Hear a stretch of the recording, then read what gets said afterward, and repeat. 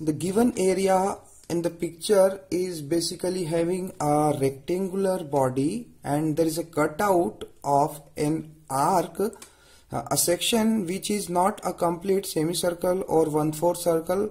Basically it is it is an arc of an angle 60 degree and radius 120 however the total size of the rectangular body is given as 200 by 300 so as I know that the my first job would be making two different sections. So make sections. My second job would be define or mark references. My third job would be mark individual centroids. Once I will complete these three steps my fourth step will be make table. I always follow this philosophy which reduce my error. So in this case if I will identify I can say see that one would be this section which is the arc section. The second one would be a rectangular body. So here first before I go further I would like to tell you that how we can identify or calculate the centroid of a, an arc body.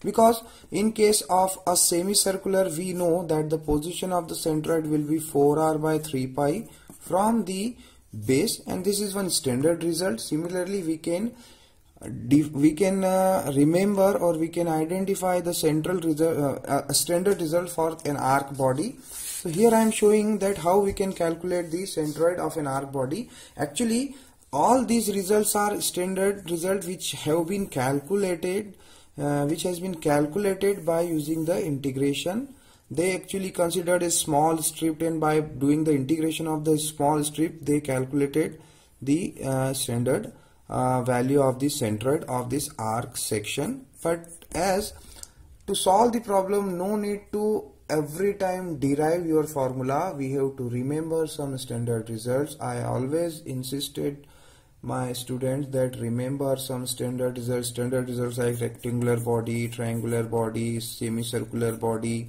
or now I am introducing one arc body.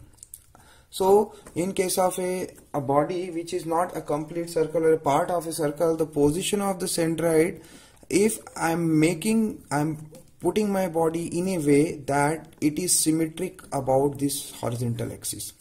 The angle at the top and the bottom side are similar. Let the angle at the top and bottom sides are alpha alpha. And the total angle is defined by 2 alpha or I can define the total angle by theta. So in my case if I'll see my question I am having an angle which is defined uh, the 60 degrees the angle. So if I'll correlate these two figures I will say that this alpha will be 30 here as well as 30 here. And here is the formula to find the position of the centroid. In case of this arc the centroid will lie somewhere here because the body is symmetric about this axis. So centroid will be here but I am interested to find the position of the centroid from this vertex so this is the formula 2 by 3 r sine theta by theta but please remember that theta will put here in terms of radian not in degree. So in this case if my theta is 60 degree the position of the centroid will be defined by 2 by 3 into r into sine 60 by pi by 3 as I said that this theta will be in radians. So now let's go back to our problem that we know that this is our basic figure. So as I said the first part is to make the sections. So I know that one section will be the complete rectangular body and the second section will be this cutout which is in terms of an arc.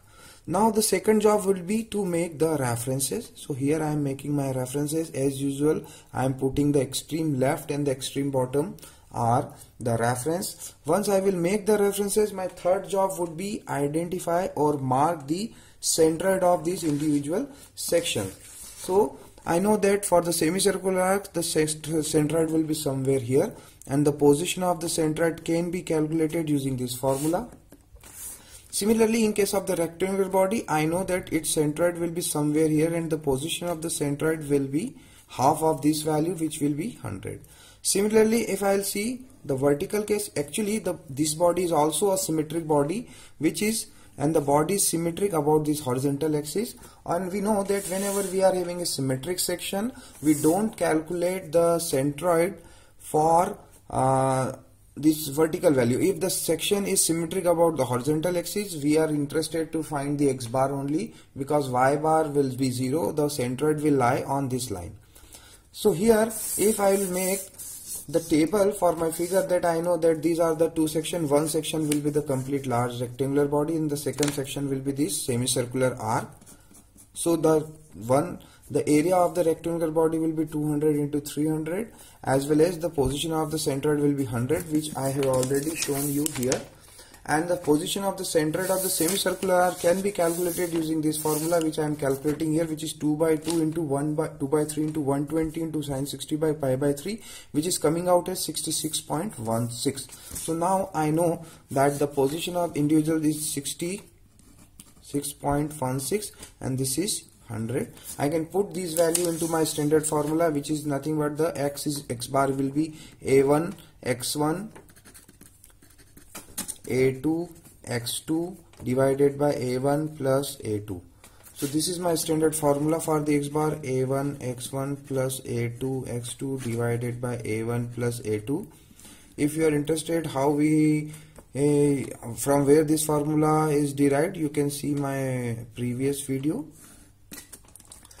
so here when I'll put these value into this formulation I'm getting on centroid values 96.22 so that means that the centroid will lie somewhere uh, this this is 200 and my answer is 96.22 that means the centroid will lie somewhere here. So here will be the centroid of my body which will be having a distance 96.22 millimeters. Thank you.